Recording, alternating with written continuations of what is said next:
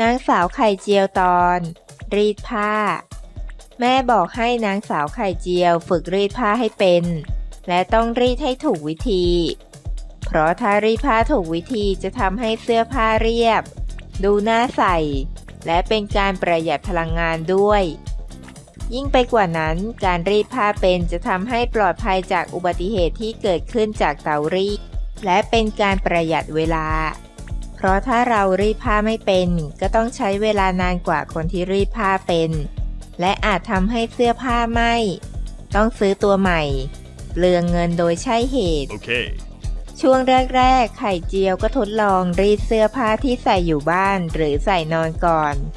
ซึ่งส่วนใหญ่จะเป็นเสื้อยืดที่รีดง่าย เมื่อรีดผ้าเก่งแล้วก็เริ่มรีดเสื้อนักเรียน รีดกระโปรง โดยที่แม่คอยให้คำแนะนำอยู่ข้างๆ เช่น เสื้อผ้าแบบไหนต้องรีดอย่างไร บางตัวต้องรีดตามตำแหน่งและตามลำดับก่อนหลัง ต้องพรมน้ำก่อนรีดโดยไม่ให้ชุ่มเกินไปหรือน้อยเกินไป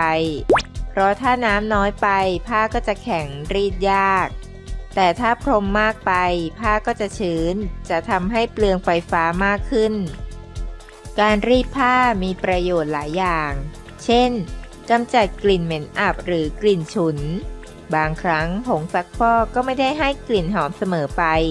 และเราก็ไม่ได้ตากผ้าฆ่าเชื้อโรคในแสงแดดได้ทุกวัน จึงอาจมีกลิ่นอับหลงเหลืออยู่